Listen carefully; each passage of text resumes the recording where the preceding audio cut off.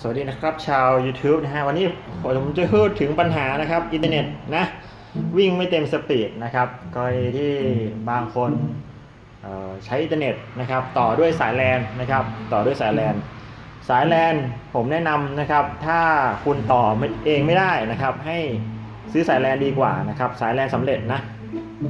สายแลนสำเร็จนะครับที่ไม่ใช่ช่างเข้าหัวนะครับที่ไม่ใช่ช่างเข้าหัวนะครับ เป็นการเข้าหัวมาจากโรงงานแล้วนะครับ เพราะว่าเขาจะมีเกรดอยู่นะครับ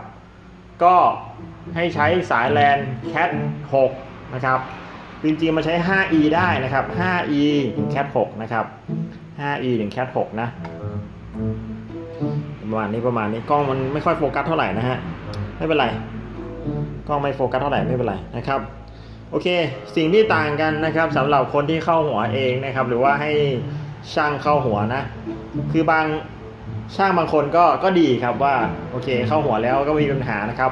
Cat สายแลน Cat 6นะครับเข้าหัวแลน Cat 6อย่างเงี้ยก็วิ่งได้เต็ม speed นะครับส่วนช่างบางคนนะครับอาจจะเป็นช่างบ้านๆนะครับผมผมไม่ได้บอกว่าช่างทุกคนนะอาจจะเป็นช่างบ้านๆนะครับที่ใช้หัวแลน Cat 5นะครับหัวแลน Cat 5ทำไมเขาถึงใช้หัวแลน Cat 5นะครับอะผมมาให้ดู 2 ชิ้นนี้นะครับ ตัวเนี้ยซ้ายมือของท่านนะครับ จะเห็นว่าหัวแลนเนี่ยลักษณะคล้ายๆกันนะฮะนี่นะครับ หัวแลนเนี่ยลักษณะคล้าย ๆกันเลยนะ ก็บางคนคิดว่ามันเหมือนกันน่ะมันหัวแลนเหมือนกันน่ะ มันสายเหมือนกันน่ะเป็นขั้วทองแดงเหมือนกันนะครับทำไมมันมีแคทห้าแคทหกแคทหาเหวอะไรฮะนะครับ ก็ต้องบอกเลยก็ต้องบอกเลยครับว่า ปัญหาส่วนใหญ่ของการ ที่อินเทอร์เน็ตนะครับ สมมติว่าคุณใช้ 100ทับ30 แล้วมันวิ่งแค่ 93 94เปอร์เซ็นต์เอ้ย93 เมกนะครับ หรือว่า 95 เมกเนี่ย มันเกิดมาจากหัวแลนเอ่อ Cat 5นะครับ หัวแลน Cat 5หรือว่าสายแลนเนี่ย ยาวมากกว่า 100 เมตรนะครับ ก็โดยปกติแล้วสายแลนเนี่ย มันจะลากยาวสุดได้ประมาณ 100 เมตรนะครับ ตามหนังสือนะ ตามหนังสือ ผมพูดถึงตามทฤษฎีนะครับ คือ 100 เมตรนะครับหัวแลนแคท5ก็คือบางยี่ห้ออาจจะวิ่งเต็ม 100ทับเอ่อ100 เมกก็ได้นะครับ บางยี่ห้ออาจจะวิ่งไม่เต็ม 100 เมกนะครับ ก็แล้วแต่ คือมันถ้าเป็นถุงเงี้ย คือผมซื้อมาเป็นถุงอะนะครับ ผมซื้อมาเป็นกล่องเลย กล่อง 150 บาท กล่อง 150 บาท กล่อง 300 บาทนะครับ ตกหัวและประมาณเท่าไหร่ 3 บาทอะ บาท 50ถึง3บาทนะครับ บาท 50ถึง3บาทแต่อันนี้คือแคทแคทห้านะแคทห้าที่อยู่ในกล่องอุปกรณ์ของผมนะครับคือแคทห้าส่วนอันใหม่ อันใหม่นี่ หลายคนงงว่าทำไมพี่มาถึงบอกคลิปนี้นะครับ ก็เนี่ย ถ้าคุณใช้หัวแลนแคท6นะครับเขาจะเขียนว่าแคท RJ 45 plug นะครับหรือว่ายี่ห้อแอมก็ได้นะครับ RJ 45 plug ก็ได้นะครับหรือว่า G Link ก็ได้นะครับ G Link ผมไม่แน่ใจว่ามันจะวิ่งเต็มสปีดไหมแต่ว่าtest สายแลนของสำเร็จเขานะครับมันวิ่งเต็ม speed อยู่นะ test สายแลนของ G Link นะครับก็วิ่งเต็ม speed อยู่นะครับส่วนสายก๊อปยี่ห้ออื่นๆผมไม่แน่ผมไม่แน่ใจนะครับว่ามันจะวิ่งเต็ม speed หรือไม่นะครับ ก็หัวเนี้ย10 หัวนะครับ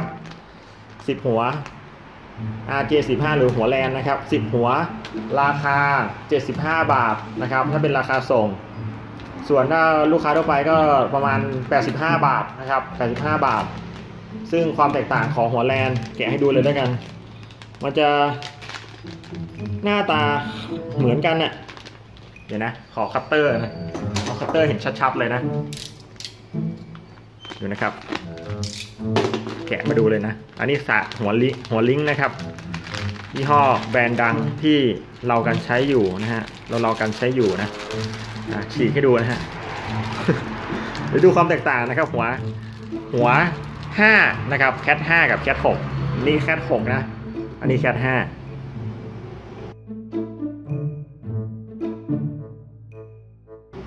ความต่างมีไหม ความต่าง ความต่าง คือบางคนจะบอกว่ามันต่างกันตรงไหนวะนะครับ ขนาดใหญ่กว่าหรือเปล่า ขนาดเท่ากันนะครับ หัวแลนขนาดมันเท่ากันนะมันถึงใส่กันได้นะครับ มันจะไม่เหมือนกันนะไอ้ตรงข้อไอ้ตรงไอ้ทองทองเนี่ยนะครับ ถึงถึงแม้จะสีเหมือนกันนะครับ แต่มันไม่เหมือนกันนะครับ ผมแต่มันไม่เหมือนกันนะครับ ฝั่งขวาหัวแลนแคทหกนะครับหัวแลนแคทหกอันนี้หัวแลนแคทห้าซึ่งโดยปกติช่างหลายๆช่างนะครับ ก็ใช้แคท 5e เพราะว่าแคท 5e มันก็จะถูกกับแคท 6 ใช่ไหมคือแคท 5e อะราคามันจะใกล้เคียงกับหัวแลนแคท 5 นะครับแคท 5e หัวแลนจะราคาจะใกล้เคียงกับหัวแลนแคท 5 นะครับ ก็ประมาณ 3 บาทนะครับ 3 บาทต่อหัว เขาก็จะนิยมใช้กันนะครับ ก็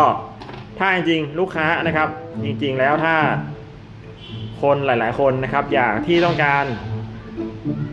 อัปเกรดเลยนะครับว่าโอเค บ้านฉันเนี่ยจะใช้สายแลนในการเดินอินเทอร์เน็ตนะครับ แนะนำให้ใช้เป็นสายแลน Cat 6นะครับ แล้วก็หัวแลนนะครับ หรือหัว RJ45 เนี่ย Cat 6เลยนะครับ จะหมดปัญหาเรื่องอินเทอร์เน็ตวิ่งไม่เต็ม speed นะครับ ก็จะใช้งานได้โดยปกตินะครับ ใช้งานได้โดยปกติ ก็ไม่ต้องมานั่งกังวลว่าโอเคในอนาคตฉันต้องอัพฉันจะต้องรื้อสายใหม่หรือเปล่านะครับเพราะว่าอินเทอร์เน็ตมันพัฒนาขึ้นเรื่อยๆนะครับเดี๋ยวนี้เป็นไฟเบอร์ออปติกแล้วนะฮะเดี๋ยวนี้เราเป็นไฟเบอร์ออปติกแล้วนะฮะเป็นไฟเบอร์ออปติกที่บางบ้านก็เป็นวิ่ง1 gigabit per sec นะ1 gigabit per secบางบ้านก็ 200ทับ100 นะครับ บางบ้านก็1 gigabit per sec แล้ว ซึ่งสายแลนที่ใช้คือสายแลน Cat 6นั่นเองนะครับ สายแลน Cat 6นั่นเองนะครับ บอกนักบอกหนานะครับว่าทำไมถึงทำไมถึงใช้สายแลน Cat 6นะครับก็ซื้อครั้งเดียวไงฮะซื้อครั้งเดียวนะครับ ใช้ทั้งบ้านจัดสรรทั้งบ้านทั่วไปใช้ Cat 6นะครับโอเคนะครับสำหรับคลิปนี้ก็ปัญหานะครับการวิ่งอินเทอร์เน็ตวิ่งไม่เต็มสปีดนะครับ ปัญหาเล็กๆ คือหัวแลนนะครับ นั่นเองนะโอเคนะครับ ในคลิปนี้ก็ลากันไปก่อนนะฮะขอบคุณที่รับชมครับ ขอบคุณครับ